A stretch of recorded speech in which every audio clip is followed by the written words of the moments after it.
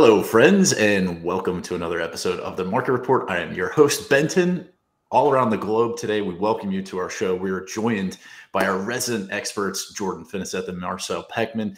Jordan uses his background in psychology and human behavior to spot emerging trends in the crypto markets, and Marcel applies his 17 years of experience trading derivatives, options, and futures to the crypto derivatives markets. What is up, fellas? Wild week in crypto. Here we are again what is happening, Marcel and Jordan? How are we feeling this week, guys? Yeah, Benton, I, am still shocked. I'm kind of amazed that Ethereum is finally decoupling from Bitcoin. We're going to talk about that later. But it's starting to show some maturity. That market is finally starting to understand that not all crypto assets are the same. So I'm pleased with that. Yeah, we saw if um, Coinbase actually listed ETH 2.0 already on their their their chart tracker. So the world seems to be gearing up to get ready for ETH 2.0 launch, and we'll see if the, the ETH dominant starts actually picking up a little bit. So I'm curious to see how this plays out for the future of Bitcoin as well. Yeah, and if you are tuning in today, tell us where you are tuning in from. We are super happy to have you on today. Uh, we're going to be getting into some awesome, exciting stuff. I know we have an awesome guest today, Ran Neuner, and we're going to be able to chat with him about his insights about the overall market. Uh, and we're going to give you a market recap video. Our one of our producers made an awesome video that's going to walk you through the latest nuggets on Twitter, the news, what's happening in the crypto space. Um, and then we're going to be able to jump into Jordan's expert takes today about an extended market cycle. You want to stay tuned to make sure you find out what Jordan has to say about that. If you didn't know, we're giving away a one month subscription to Markets Pro, our premier trading platform here at Cointelegraph. Uh, we're going to be giving that away. So make sure you are chiming in on the chat today. We want to hear from you. Tell us your comments, ask us some questions. We're going to be stopping periodically throughout the show to make sure that we answer all your burning questions. So pop them in the chat, and we're going to be picking one lucky winner today. And if you're just interested in Markets Pro, 20% off in the description below. Make sure you are liking and subscribing Cointelegraph on YouTube. We're here for you. Thursdays, 12 p.m. It's the market report. Why not tune in?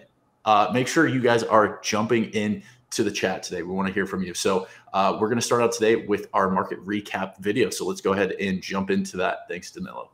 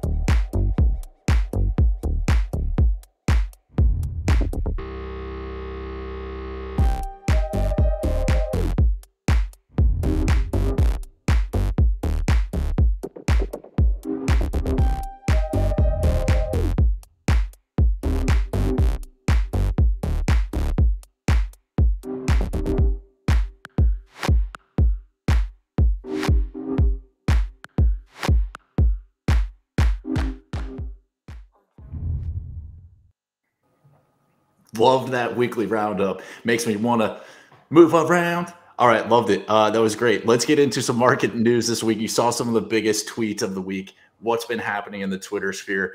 Uh, Bitcoin drop. When was that? Friday night, December 4th, the night to remember for Bitcoin. What's going on with this, guys? Marcel, what are you seeing in the markets right now? Why did this happen?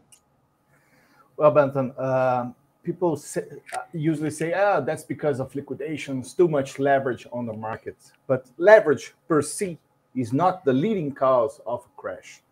Usually, the leading cause is a crash is when there's, uh, for example, excessive optimism, and suddenly people realize that okay, yeah, inflation of six percent in the United States was the biggest in 30 years. But is it going to cause markets to crash? Is, is it the end of the world?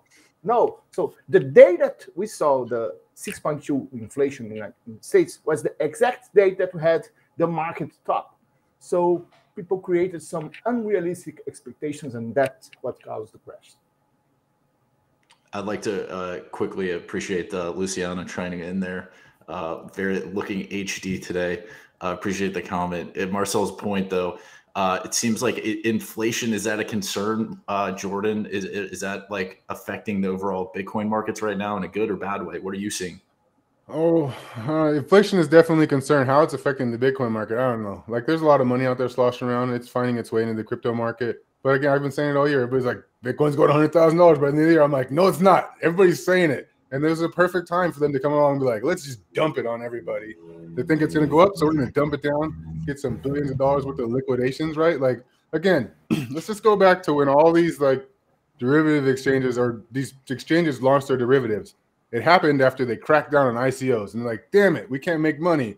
So they launched all these derivative and margin trading products so that they could make money. So they're designed for the, the exchanges to make money, people. That's how they make it now. So every once in a while, we're going to get these big dumps or pumps just so they can wreck the shorts and, and screw the longs. So it's par for the course in crypto, people. Just stick it for the long term.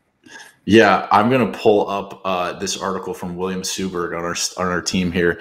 Uh, 2.5 billion liquidated across cryptocurrency in a mass rout, which sends Bitcoin price action back to the end of September. So, like in these kind of resets here, let's pull up this chart real quick.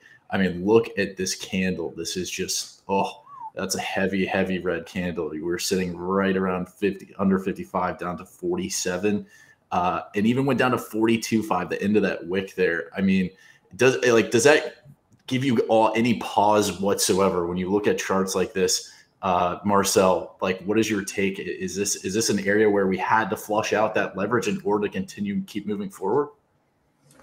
Uh, but I'm not so much about concerned about the price, whether it's 55, 50, or 45. For me, it's exactly the same in the long term. But I'm more concerned with the market fundamentals. For example, during the crash, uh, like two or three hours after the crash, the futures markets premium, which is the comparing the, the December and March contracts to the current spot price, they were back to a healthy 7%.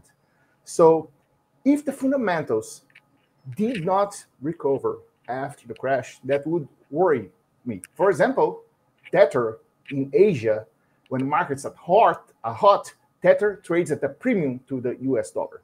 When markets are bearish, Tether trades 5% below versus the dollar. And right now, the discount is only 2%. So I'm not seeing a bear market. The fundamentals are good, the structure is good, so it doesn't worry me. Jordan, what would tell you that we're in a bear market? I don't want to bring that up because I, I personally don't think we're there, but like, what are some signs that might tell you that we're heading towards a bear market? I'm still waiting for that big blow off top, really.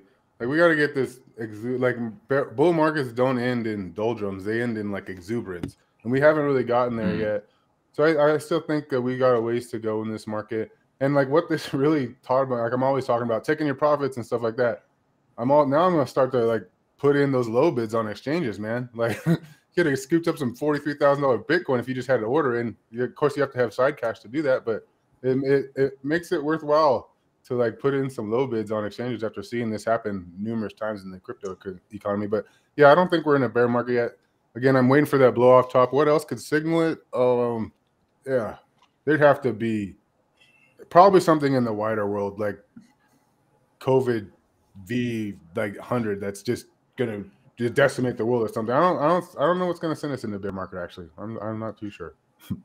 I want to quickly address uh, Kale RN Milan's question. Do you believe that DeFi sentiment right now is fading? And if yes, why? Uh, I, am going to jump in with this one and say no.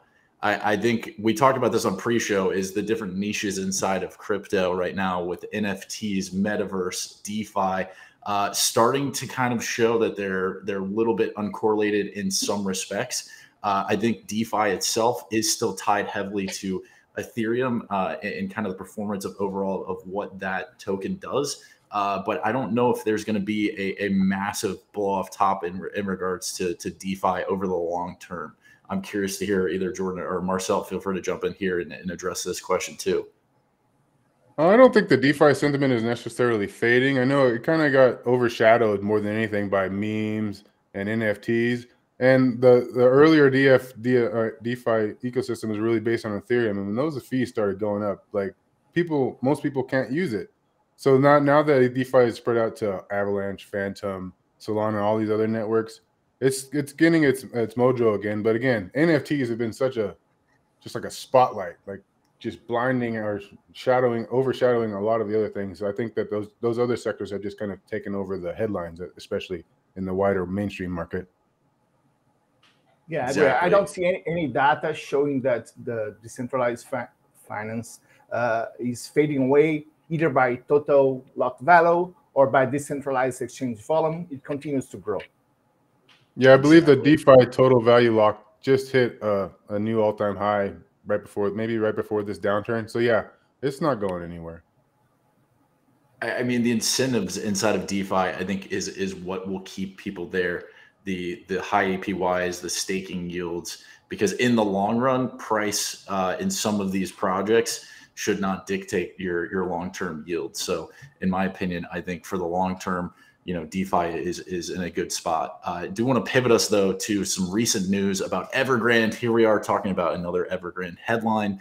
Uh, fresh panic over Evergrande appears to have limited impact on crypto markets. Is this a good thing? Is this a bad thing? And then for those who aren't you know who, who aren't familiar with Evergrande, like uh, Jordan, can you can you walk us through what is going on with Evergrande and why is this such like a big deal right now uh, in, in the market headlines?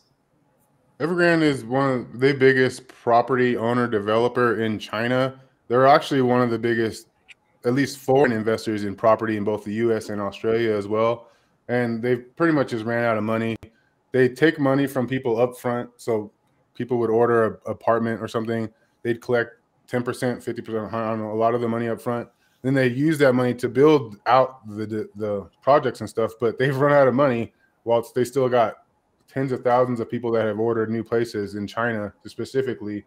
So yeah, they're bankrupt basically. They can't they can't and they have this big large bond market and they can't make good on their bond um like their bonds and stuff because they have no money to operate. So basically the Chinese government looks like it's uh kind of assume subsumed them, taking it over, going to try and manage it. I don't know. They seem like they've they've done a better job at managing the collapse of Evergrande than they did here with Lehman Brothers or or the problem back in 2008 but it's not. Uh, yeah, it's going to affect the markets. Is more more likely the the investors outside of China are not going to get their money back. The government's trying to make sure the Chinese government's trying to make sure that they keep money within China or at least build those apartments and stuff. But I don't know. It's it's kind of a cluster F, and we'll see how it turns out over here. Is it going to really affect the global markets if it continues and it makes the whole Chinese retail or housing market fall? It could definitely spread around the world. But yeah, what's up, Marcel? Yeah, and remember, Jordan, that even North American and European banks also lend money to Chinese companies. So yeah, there could be some contagion, but I don't think it would be that relevant if it's one or two Chinese property developers. Yeah, uh, and we're, we're, we're like the world's stuck in a like all kinds of moral hazards here. They're just printing money in the U.S. and China like, at what point do they is somebody going to come in and put the foot down? Like, no, we're not doing it anymore. Nobody wants to be that bad guy. But if eventually, either somebody's going to have to do it, or the world's going to be like, you know what, smack. it's like, yeah, we'll see. well, something I found interesting here is I want to pull up the ETH BTC chart real quick uh, to show this to everyone. And I thought this was it was pretty fascinating when you take a look at it. Uh, we see the trend lines, these yellow VWAP levels, and then this blue line right here, almost following uh, this ascending wedge line up. And just like ETH kind of has taken off here uh, when com- in comparison to to Bitcoin. And so when you're looking at this, this is like mid November, and then heading into the crash, it's like of December here on December 4th, like ETH dominance is is looking like has been going up, and it broke through this this ascending wedge here. Uh, so I guess when you all are looking at a chart like this, what are what are the biggest takeaways that you get when you're looking at a, a daily chart versus Bitcoin and, and, ETH here, Jordan? Well, to me, that just shows that Bitcoin or Ethereum is gaining strength against Bitcoin, and it has a lot more va- like value proposition. Bitcoin's kind of been pigeonholed into this store of value. I know they're trying to put smart contracts on it and whatnot on top of it, but like the real explosive growth of what's going to happen in the future is ha- is happening on platforms like Ethereum that are trying to become the new internet, not just a store of value. And, and investors are starting to see that. So we're getting institutional investors come in now. They're looking at Bitcoin and then they're looking at like what's the future hold Bitcoin is just going to be a store of value, whereas Ethereum has a whole ecosystem of promise. So, Marcel, what do you what do you get when you look at a chart like that? I think it has more to do with Ethereum 2.0. It's going to be a deflationary or not an inflationary asset, and there are some staking involved. Uh, so it's changing uh, what Ethereum used to be to the new Ethereum. So it's attracting more investors that were previously on Cardano or other staking coins. That's my view. Very good. Well, that is going to do it for our market news this week. We dove into some Evergrande stuff, uh, overall bit, Bitcoin market sentiment, and now we're going to shift into our guest interview for today, Ran Neuner. You're going to want to make sure you stay tuned for this. Don't forget to keep chiming in in the chat. We're going to be giving away a one month subscription to Markets Pro. We want to hear from you today. So make sure you're chiming in on the chat. Ask us your burning questions. And maybe we might even ask one for Ran today if you chime it in. Uh, 20% discount is in the description below. Make sure you are subscribing to Cointelegraph on YouTube. So let's go ahead and jump in with Ran the Man.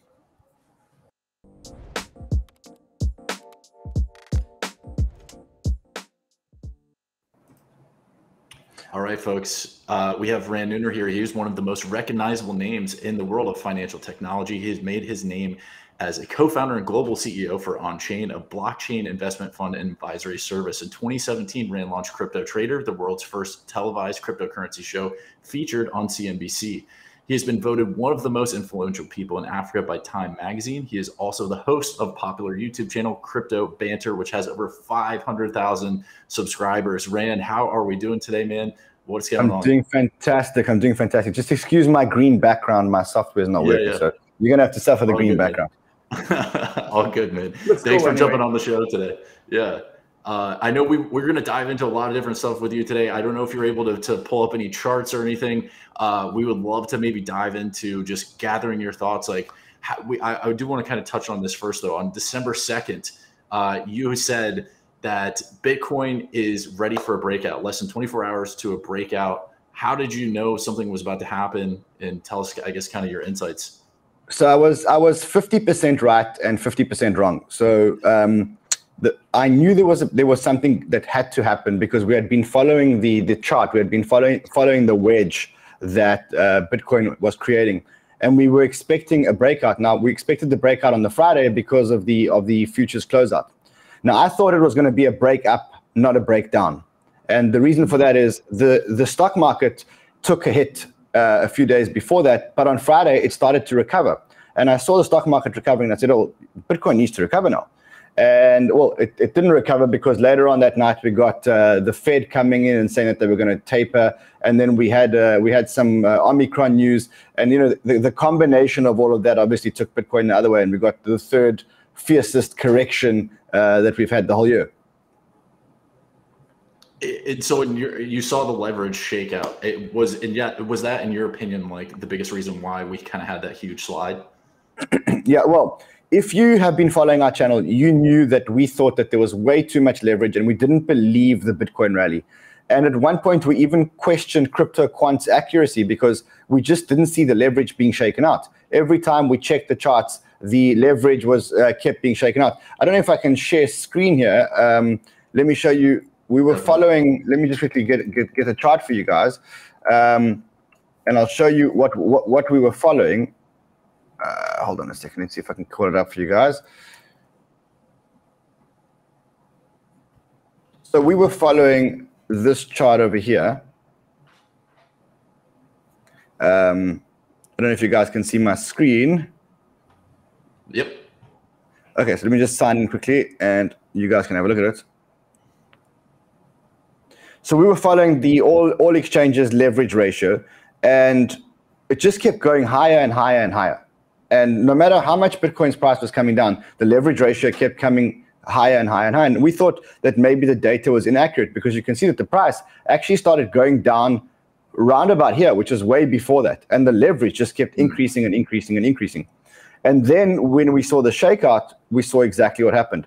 Now, we don't have any precedent on this chart because if you look at the leverage shakeout in May, which is the one that happened here, you can see the leverage, which is the blue line, reduced quite a lot relative to where we are today after the shakeout.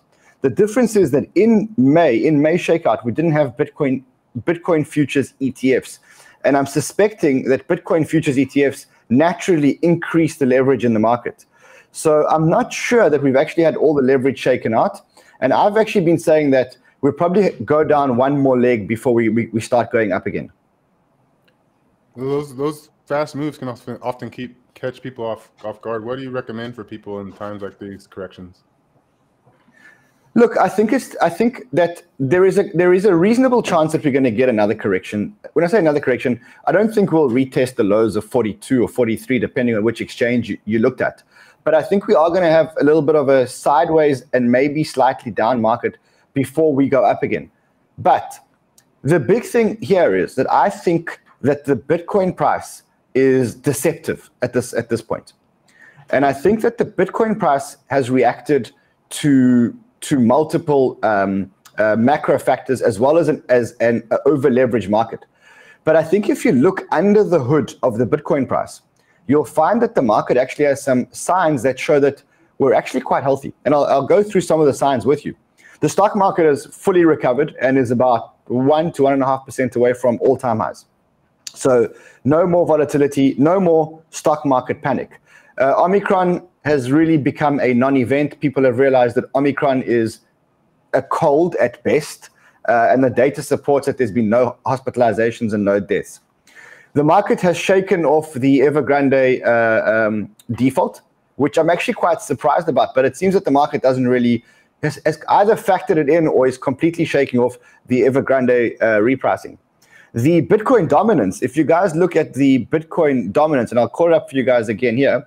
So um, you look at the Bitcoin dominance, which to me shows confidence in the market. So the Bitcoin dominance is now uh, at at 40 and it's retesting retesting levels. I mean, if it drops be- below 39, it's probably the the lowest that the Bitcoin dominance has been all year. And that's kind of showing you, you know, in in in situations where markets are truly nervous, then the Bitcoin goes up and people put all their money back into Bitcoin.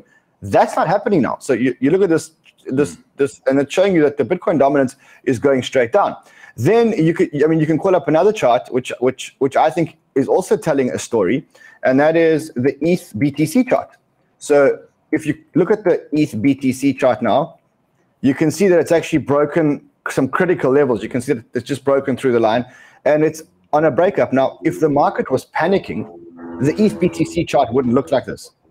So I think that the Bitcoin price is responding and bringing the market down with it to this correction.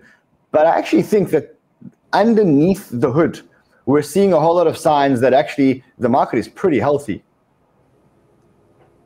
So, Ran, uh, you've talked about Ethereum. Um, my question is do you think that Ethereum over the next couple of years could lose the number two spot to a contender? And which are the best uh, alternatives in your opinion and why? Um, do I think Ethereum loses the number two spot? Very difficult to say, and I'll tell you why. I think that Ethereum becomes a settlement layer for multiple Ethereum layer twos. And we're seeing it now with ZK Sync, with Polygon, with ZK rollups become a game changer in terms of scaling technologies. And if these layer twos get significant adoption, and I think today is a, is a big day because of the Polygon ZK, uh, they're having a, a, Polygon ZK day today. They've already made one announcement where they've made an acquisition at $400 million of a company called Mirror. Um, now, if Ethereum can successfully become a settlement layer for multiple layer twos, using things like rollups, then maybe, maybe, maybe Ethereum maintains the number two spot. If not, then I actually think it becomes Solana. And I'll tell you why. From a pure technological point of view, Solana is way better technology than Ethereum. It's faster, its time to finality is it, it, its time to finality is much quicker than than Ethereum. It can handle the scale. And of course, critics are going to say, well, you know, it's not decentralized enough, and it doesn't. It's not EVM, and you need to learn how to use Rust to to code on Solana. And those things are all true. But I think with enough time, Solana does look like it's gaining that kind of network effect. Yeah, I, so I, I know on your show you've talked about you've sold off part of your ETH for Solana. Uh, when it comes to to like measuring the metrics behind a lot of these new blockchains, is transaction speed and finality are those the two most important metrics? No, they abs- so in terms of a blockchain performance, yes. How much load can it handle, and what are the fees when you get to that load? I guess that that becomes the the measuring factors but that's not how I make my investment decisions. So you referenced that I sold a whole lot of my ETH into Solana. I then further sold some of my ETH and put it into other layer ones, uh, things like AVAX uh, and, and some of the other ones. The reason is what I'm doing there is I I think that the way the market works um, is it, it depends where you want to invest. So typical retail investors will come in at the end of the market and they'll invest following price. So price goes up, price goes down, they'll make their decisions based on price. Slightly more sophisticated investors will look at uh, metrics like transactions or maybe TVL or maybe active addresses. And then they'll say, look, if the TVL increases or the active addresses increase, uh, then that should bring the price to increase. Great. More sophisticated investors will take one step back and they'll say, where is the venture capital money going? And they'll follow the mm. venture capital money, which ultimately leads to more dApps being developed, which ultimately leads to more TPS, which ultimately leads to, to more TVL, which ultimately leads to more active addresses, which ultimately leads to price. The smartest investors will actually just follow the developers. So the idea is to try and follow the developers. And the metrics that I'm looking at are metrics such as GitHub, GitHub uh, deposits and um, uh, any type of metric which shows me that developers are moving to blockchains. And we're seeing a lot of developers move to blockchains like Luna, for example. There's a very, very, very strong developer ecosystem moving to chains like Luna. The smartest developers in the world are moving to Arweave. Um, not a lot, but they're moving to Arweave. The, the mass of smart developers are developing on Solana. And so I'm, I'm starting to follow the developers because the developers will lead to VC money. The VC money will lead to more dApps being developed. More dApps being developed will lead to more active addresses, more TVL, and then ultimately price. So I'm just following the, the food chain, but I'm going backwards. Excellent. And you kind of showed and explained how the, the market stayed, got some momentum still building. Do you think that we're headed into a longer market cycle than the four year cycle, or are we starting a new cycle over? What do you, what do you think? So I think that crypto people have a bull and bear market mentality, right? Like crypto people have this hey, if it's not a bull market, then we're going into a bear market. And it's got to be a bull or a bear market. Now, let me ask you a question. When was the last time that there was a bear market on the stock market? Never. 2007? I was thinking about this earlier today. I was thinking about the yeah, so, same thing. So hold on. So the only reason, the only reason why we are conditioned as crypto people to think about a bull market or a bear market is because we've been through three cycles. We went through 2013, and 2013 was a bull market and a bear market. Then we went through 2017, and 2017 was a bull market and a bear market. And so we're making this assumption that we're going to get a bull market and a bear market in 2021. And we're also making this assumption around cycles. Now, the difference between 2013 and 2017 is it was the beginning of a technology cycle, right? So you think about 2013 and 20, 2017. 2013 was all about Bitcoin, and it was about the first decentralized blockchain and the higher expectations of what it could achieve in a shorter period of time that it could never achieve, and it was it was bound to disappoint, and it crashed. 2017 was the same cycle, but it was for altcoins. So Bitcoin started coming to its own, but the explosion of 2017 was actually altcoins. And then the disappointment was that they couldn't achieve the disruption in that period of time, in a short period of time. But let me take you back to the Nasdaq, and let's talk about the internet bubble of of you know the 1990s. When the internet bubble collapsed in 2001, it we didn't have bull and bear markets. We just had a gradual bull market, which was a function of a few things. Technology and disruption is one of the things. And the second part of it was just money printing and inflation. And mm. so I think that this mentality that we have of because we always have a bear market and this PTSD that most of us have because we were here in 2017. So we have, I mean, you know, we all have PTSD that says when the bear market comes, it's going to be bad and it's going to be long because that is what happened in the previous ones. But in other asset classes, for many, many, many years, we haven't had a bad long bear market. So I think that we may see a very different market now. I think I think that this market is slightly overheated, but I think that we'll have multiple corrections, but we'll just continue to grow. I think we'll just continue to grow like the stock market. If you take the stock market chart, and I'll, I'll actually show it to you here if, if you allow me to share my screen again. Um, yeah, definitely. I'll show it to you. There we go. So, like, that's the stock market chart uh, since since COVID. Um, and you know, if you kind of zoom out and you remove COVID and you just keep, you kind of keep zooming out, what you realize is that you just have, you know, just a bull market with multiple small, quick corrections. You know, you, you look at the COVID correction. You know, it it started in March and by November we were at higher we were at higher highs. So that's not a one year or a two year or a three year bear cycle. It's just multiple corrections that shake out leverage, shake out overheated environments, but ultimately we continue to grow. And I think that that's what happens now with blockchain because I think that the technology is really getting adoption and disruption. And when that happens, it's kind of illogical for you to have adoption and disruption and then still to have a one and a half year bear market like we had in 2017. So a lot has changed. I yeah, think so. There's think a lot so. more de- development, yeah, going on than 2018. There, there were not so many VCs that we have right now. And speaking of that, you are really influential in Asia, as I know, and you speak to a lot of investment companies over there. So I'm kind of want to pick your brain on what are the difference what on what they are seeing, what, what they are investing uh, compared to European or American investors?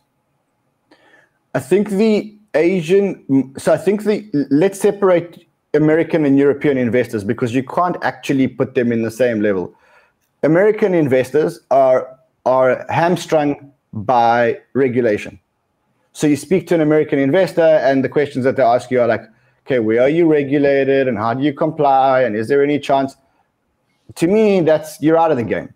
European investors are investing in narratives. Asian investors are, in my opinion, one step ahead. And specifically, I say Asian, I mean Korean investors um, and, and, and that cluster of investors. They, I found, are one step ahead in terms of narratives. They were talking about metaverse 12 months ago they were talking about video uh, about gaming 12 months ago. And those are the narratives that the american and european investors are fomoing into now. You know they were talking about scaling solutions six months ago. And now there's a whole uh, investment thesis around scaling solutions. So i think that they are they are ahead of the the curve. Um, and for them it's a case of they are buying into mass adoption now. Things like mass adoption gaming. You know, you use Axie, but Axie is just one example. Um, uh, uh, um, metaverse plays, etc. I think the benchmark for that kind of investing is obviously Hashed. Hashed is the I think one of the biggest funds in Korea, one of the biggest uh, investors in Korea, and th- I think they kind of setting the trends. So, what are some of the? I, I, think, and I also appreciate anybody from the Banter fam that is tuning in today uh, for the market report. But like, what are some of the maybe top three projects that you are keeping a very, very close eye on right now? So we don't look at projects. I mean, you know, to to talk about specific projects, I think there's a hundred great projects out there doing great things. I think we're focused on narratives. So the, the first narrative that we're focused on right now, and we started, we've been focused on this narrative for a long time, but specifically in the last 30 days, is Luna.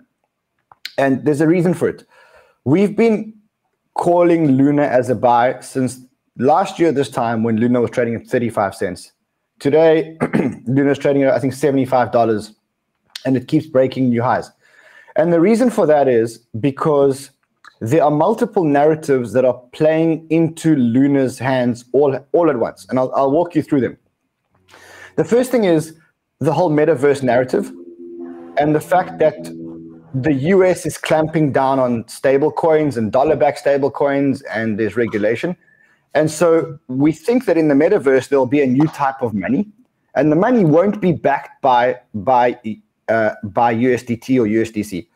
Just my view on USDC and USDT is that without doubt, those are securities. And I'll explain to you why. You know, mm. if, if, if an item derives its value from a basket of other items, that fluctuate in value, then that item is a security. Now, USDT openly claim that they invest in multiple assets, including corporate bonds, debt, etc., etc. If that debt collapses, theoretically, the value of the USDT coin should be less than a dollar. Okay? So, with that in mind, there's no doubt in my mind that USDT and USDC are actually securities. And maybe they will be, and maybe they won't be over time. But what I think is going to happen is that there's going to be, for metaverse, there's going to be a magic metaverse money. And that magic metaverse money is not going to be backed by US dollars because we don't want it to be backed by US dollars. So I think that who wins at that point is UST. And I think maybe maybe magic internet money do too. But um, mm. I hmm. think UST wins that battle. We saw it now with the correction. When the correction happened, all the stable coins lost their peg except UST, which is actually not backed by US dollars, which is it's unfathomable that algorithmic money would have held this a, a peg better than stable coin money. It's it's unfathomable, but it did. And it just shows it just shows that we're moving to a world where astute investors are saying the US dollar is worth shit anyway. I'd rather just buy this magic internet money, and it is what it is. Um, and so UST, there's the UST narrative, this decentralized money narrative that is not back, back, uh, backed by USD. And then you've also got a DEX, which is launching on Luna, so on Terra. So you've got Astroport, which is a new DEX, like a Uniswap, which is launching this uh, next week. I think they're launching it.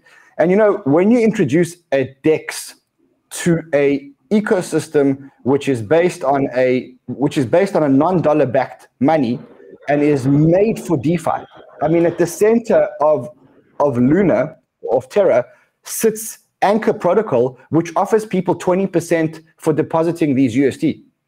So you get this whole narrative and you say, obviously Luna is going to explode in value. So that's one one narrative that we're really, really, really following at the moment, and we're investing in multiple projects on that narrative. So uh, we invested in uh, Kujira. We we investing in, in the Launchpad, which is uh, I think uh, a StarTerra. We we investing in Orion money, and Orion money effectively allows people to invest their USDC and USDT and earn 20% using Anchor Protocol. So we invest in multiple narrative, multiple investments within a narrative. So that's the first narrative that we're really investing in. The second narrative is ETH layer two scaling, and particularly rollups, and preferably ZK rollups over optimistic rollups. But we have made some investments in optimistic rollups. Uh, things like Boba was a good investment of ours in optimistic in uh, in optimistic rollups, and we're constantly looking for places to invest in ZK rollups. And I think there's going to be multiple of those uh, coming out pretty soon. So that's the next narrative. Uh, another narrative is we're expecting a Cardano explosion early next year. Mm. Why? Because the first DEX is out on testnet. And, you know, Cardano struggled to get smart contracts, and everyone thought, hey, Cardano's got smart contracts now, everything will just explode. And that was in August or September. But that's not how it works because when you have smart contracts, you can build a DEX once you build the DEX, you can build a whole DeFi ecosystem around it, which you can't really build unless there's a DEX. And the first Cardano DEX went onto testnet on Monday, which was SundaeSwap, and now we call it Monday Swap because they, they launched one day late. Um, so Monday Swap, Monday Swap is now is now live on Cardano, and multiple other dexes will start to form. There's going to be ADA Swap and a whole lot of others that are, are going to come online. And in January, you're probably going to see a whole lot of these functioning dexes on Cardano. And that's going to be the Uniswap moment for Cardano. And when that when that happens, then you're going to get multiple DeFi projects and you're going to see the lending protocols come out and you're going to see a whole lot of these and you're going to see TVL start to be locked on Cardano. And then that will start a Cardano narrative. And that I would say will probably happen around January or February. Excellent. Uh, I do think we have one last question for you here. Um, Jordan or Marcel, did you want to jump in here? No, I, I, think we should focus on the, on the gaming uh, area, which is uh, always a request from our viewers, which I'm not a big fan, but I understand that Ran knows a lot about. And what are his picks outside of Axie in the gaming coins? So interestingly enough, uh, we have just started a show on Banter, which is called In the Game. It's a it's a show that happens every single day, and every single day it is done by we have a, a guy, a resident gamer. His name is Hassel. Um, Hustle is uh, is a gaming expert. So he's you know I'm not a gaming expert like he is. He plays all the games. He understands all the games. He's been looking at multiple picks. One of them is Thetan Arena. So Thetan Arena is by far the biggest game now, the biggest blockchain played game. It's growing, it's growing very, very, very fast, and the gameplay is much, much nicer than playing Axie. Like much, much, much nicer than playing Axie. Uh, it's also on the iOS store, so you can download it as an app. So that's one. Um, other other things, I know he's been looking at uh, UOS, which is the gaming um, launchpad, so to speak. It's a it's a it's a place where where multiple games can list and you can go and download your game from there and they get a and, and they get a commission on every game so that's called ultra or uos so i think that those are the two picks that that he's been looking at but you know that said there are hundreds of games now which are launching and as i said we have a show on banter every single day and that show is all about all these gaming tokens it's called in the game uh, super addition to the family actually excellent uh, no, this has been super insightful, and I'm sure our audience has enjoyed hearing from you. This is Ran Neuner, folks. Uh, it's been a pleasure having you on. Hopefully, we can have you on again. Thanks for joining us today. Anytime, guys. Thanks so much. Thanks, Ran. Awesome. Cheers, guys. That that was great. Awesome to hear from Ran, the man himself. Uh, you know, you heard it from him. He's he's dabbling in a whole of lots of things in every single field uh, inside of crypto. It seems like. Uh, we appreciate everybody that's that's tuned in today.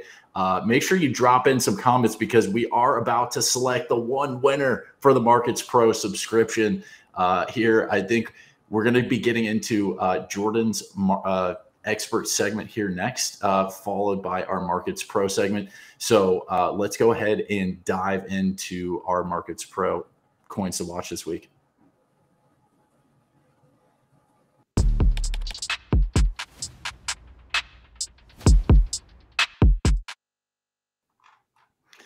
All right, folks, big week in crypto. We saw some movers, we saw some shakers. Uh, one of the coins that we watched for our Markets Pro segment is One Inch. And if you didn't see One Inch, our Newsquake alert was able to catch it. Uh, for those who aren't familiar with Newsquakes, they're automatic alerts that instantly notify users when events happen that move the market.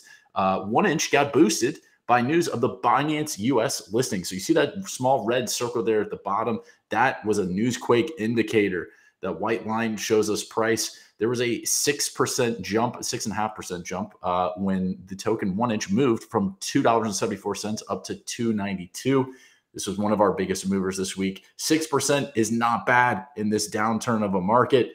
I'll take that all day. Uh, so for those of you who, who, don't know what one inch this week and didn't catch that newsquake, uh, you got in for a nice little ride there. Uh, the other token that we saw this week had a nice solid surge, even in these inclement uh, climates for crypto was Tezos. So Danilo, if you want to kind of pull that up, uh, Vortex score time. For those who aren't familiar with the Vortex score, uh, it's a comparison between current market and social conditions of those in the past. High score judges off of historical data. The asset's current outlook is bullish in the next 12 72 hours. You see that first circle. That's the Vortex score, that green line, 87. Uh, however, that that movement for Tezos didn't happen for nearly, it looks like about uh, 50 hours after it, it, hit 87 for the Vortex score. So it shot up from $5.30 uh, to $4 the next day. Huge jump. Um, and that's the power of the Vortex score. You want to have that in your pocket. And that was Tezos, huge jump uh, with with the news this week. Um, with a lot of that. So yeah, that was our markets pro segment. I know Jordan's got a lot to talk about today regarding extended market cycles. So make sure you're tuning in. Uh, 20% discount on the description for Markets Pro. Chime into the chat. We're going to be giving away our Markets Pro subscription today. And let's make sure that you are chiming into the chat. We'd love to, to love to hear it. Let's get ahead and and start with Jordan.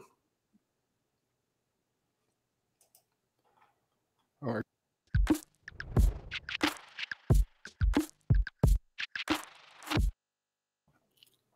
All right, kind of so as Ran Neuner was talking about earlier, following the recent market downturn and inaccurate prediction by uh, Plan B, a well-known stock-to-flow model creator, I'm more convinced than ever that we're actually witnessing a lengthening of the cryptocurrency market cycle, or maybe we're not even going to have these ups and bear, bear and bull market cycles. It's going to kind of be the extended bull market cycle like Graham was talking about, and we're kind of moving away from the four-year period that was highly influenced by the Bitcoin halving cycle. If I'm gonna, Daniel, can you pull up my screen real quick? Just kind of go over this article real quick. It was showing his four model. I think he predicted $98,000 by the end of November, potentially, as he had gotten correctly in August, September, October. November came, didn't hit. We had this recent downturn in the market that just pushed Bitcoin down to 42,000. And because of that, like we had a lot of people, you can you can uh, bring it back to Neil. Thanks. We had a lot of people that all year long were expecting this hundred thousand dollar Bitcoin price, but now we're down in the 50,000 range, but it, as Randy was saying, there's a lot of support in the market. The fundamentals don't look too bad. So it, it seems like the market cycle is lengthening. Again, we had projects like Luna, as mentioned before, other projects like UOS, seeing their, their tokens jump up to new all-time highs amidst this downturn or shortly after the downturn, which to me speaks to strength in the market while Bitcoin's still trading sideways. So we haven't gotten that blow off top that we've expected to see in December, and the market is just extending. And if I could pull up, let me uh, bring up this Bitcoin dominance chart.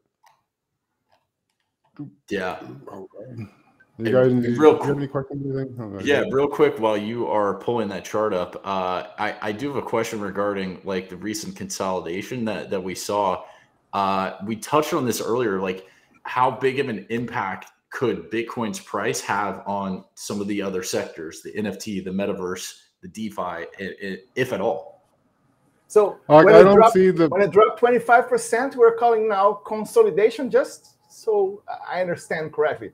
You're saying that consolidation is a 25% drop? Well, I mean, if you're looking I, at the previous previous bull market cycles where it was like an 80% drop, like 25% is a consolidation. Yeah, I would say that, right? It's pretty safe to yeah, say, right? so we're looking at this Bitcoin dominance chart. Obviously, like at the beginning of 2021, Bitcoin had that run up at the end of 2020. It's like, yeah, we're going up to the all time new all time high, and then just throughout the whole t- the beginning of this year to the middle of the year, Bitcoin dominance fell. You had DeFi take off, then you had NFTs and memes take off. So yeah, and then so we waffled through the, the, the market correction. We got into like late sep middle September. This was when a lot of the, the the hype about Bitcoin ETF was coming out. So Bitcoin started pumping, pumping. Then everybody's like, "What? It's a futures ETF? That's bunk." So like uh, memes came back to life, and it, it's been dropping down. And if on the other charts you can see, as this has been dropping, Ethereum's been going up. So the whole like idea of Bitcoin being the only thing in the market that matters to me. You can thanks for sharing that, Daniel. Is, is we're kind of beyond that as as Randy was saying. We're we're seeing these different sectors evolve, whether it's stablecoin focused platforms like Luna or metaverse focused platforms and like uh, or layer twos like Polygon. We're just seeing a whole different evolution of the whole market structure. And again, we didn't get that blow off top like everybody was expecting all year long with a hundred thousand dollar Bitcoin in uh, December. And to me, that speaks to the fact that the, the whole market cycle is it's, it's lengthening out into 2022 and we could see like a five-year cycle or even longer and the whole four-year cycle narrative driven by the bitcoin halving is is losing its its for its moment or its sway on the market yeah marcel nope you're muted from what I understand, you're saying that you're pretty confident that the bull run is not finished. It's probably going to take a little bit longer. But what makes you think? What are you so sure about that? Well, let's look at some of the big headlines we have. Whether it's Visa announcing that they're offering big or blockchain consulting for uh, merchants. You got the the big uh, thing on Capitol Hill yesterday where people were and Sam Blankenfeld and all these people and like Fidelity. it wasn't horrible. It wasn't like they weren't beating down on Bitcoin the whole time. It was actually like a constructive conversation. So we're seeing some uh, growth in that respect. Let's see, their Fidelity is going to be offering Bitcoin back loans through Nexo. Like Fidelity is one is one, a large institutional player. Like to me, these show that the the larger adoptions are coming, and because of that, it's almost going to put more of a floor under the whole market and not allow for the. I don't know if we're going to see another eighty percent Bitcoin correction in my opinion, unless we go from like fifty thousand up to two hundred thousand dollars. and it's like okay, that got a little hot real quick. So, and that's like in a in a week. It's like man, uh, yeah, big corrections coming in. But overall, like Dan was saying, I, I thought about that exact same thing yesterday. I'm like, when was the last time the whole stock market had a bear market? I'm like, that don't happen. So as the whole crypto ecosystem expands, we get NFTs over here, we got DeFi, we got oracles, we got metaverse. That's spreading out all the, the, the wealth of the thing, and it's not all just going to tank, especially if it's not all trading against the Bitcoin pair when the Bitcoin price falls. So I, we're not going to see these big, massive bear markets necessarily, and if we do, have some dry powder on the side because that's a good time to accumulate, in my opinion. In my opinion. I was gonna say I thought it was interesting what what Ran said. He's like, we're just we'll maybe have these like slight upticks, but it, it is a totally different landscape than 2017, 2013. So many institutions are getting involved. There's so much VC money, and I think there's more money sitting on the sidelines right now uh, that could potentially flood in in 2022. I'm still long term bullish and heading into the the Q1 for 2022. So, like Jordan said, you know, if you have the dry powder, get ready because uh, I think there will, will, still be in store for a few dips along the way. Uh, but yeah, that was awesome insights today regarding uh, current market cycle, where we could be going next. Is it going to be extended? Uh, valuable valuable insights today. I see a lot of people chiming in on the chats over here, uh, talking about the guest segment institutions looks like are buying all the pro athletes that are getting paid in BTC will need to get paid soon. Very interesting point there. Uh, well, I do want to wrap things up today with our closing comments. Uh, so, Marcel, I'm going to hand it over to you first. Do you have any closing thoughts for today's show? Oh, wait, we got to pick up. So we got to oh, pick somebody right. for the giveaway. Yo. Oh, snap! We forgot who we we got to give away. Markets Pro giveaway, giveaway time. Sorry, sorry, sorry. All right, first let's pick the, the winner here. Then we'll get to our closing thoughts. Who do we like in the chat today? Who was the most hmm. excited to be here? Hit it. Let's see it. Let's see those comments. Well, I, I like wrong again because that person is always commenting. I like their I like their level of engagement. They actually talked about me specifically today. You know, I like when people talk my name. So, but who is this? Let's I'll let you guys look. Comment. Who is this? Hmm? What, what did you say? Name, the name wrong again? again? Wrong, wrong again? again? Wrong again. Yeah. I saw them chime in the whole the whole show. We got a winner, folks. I've wrong seen them chime in for several weeks now. So that's right. Loyal, loyal listener and viewer. We'd love to see that. Wrong again. You are our winner today. Send us uh, your your Twitter handle here in chat. We're going to reach out to you personally from the Cointelegraph social account on Twitter. Uh, thank you for for tuning in today. We appreciate everyone that tuned in. Wrong again. Uh, I saw them chiming in all day today. Uh, so let's get to our, our closing thoughts today. Marcel, closing thoughts for today's show. What do you got? Okay, Benton. So if you are into altcoins, if you're big into that, I would recommend you to diversify. For example, let's assume you are a big Avalanche fan. You like the technology, you like the ecosystem, you like the developers. Okay, you can get like half of the money and spread out to Solana, Polkadot, Algorand, Cosmos, Fantom. so in that sense, you're going to keep your exposure to Avalanche and to the smart contract sector, but with lower risk because altcoins are already too volatile.